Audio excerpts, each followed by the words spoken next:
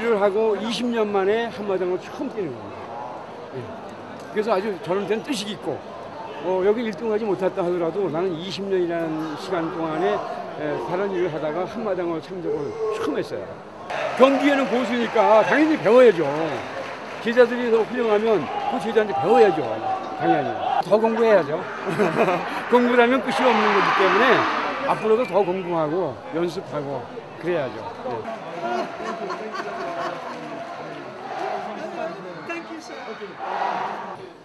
오늘 여기 왔구나.